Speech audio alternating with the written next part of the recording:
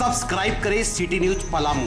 व bell icon दबाकर पाए परमंडल की ताज़ा खबरें सबसे पहले, सबसे आगे।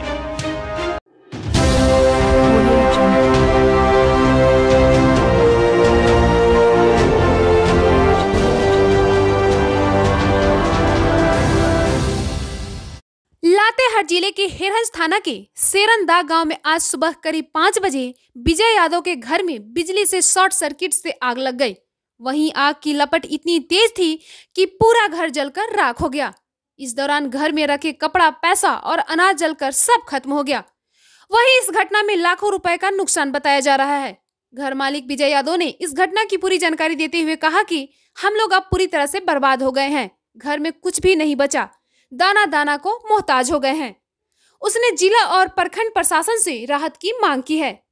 बालूमा से पंकज सिन्हा की रिपोर्ट।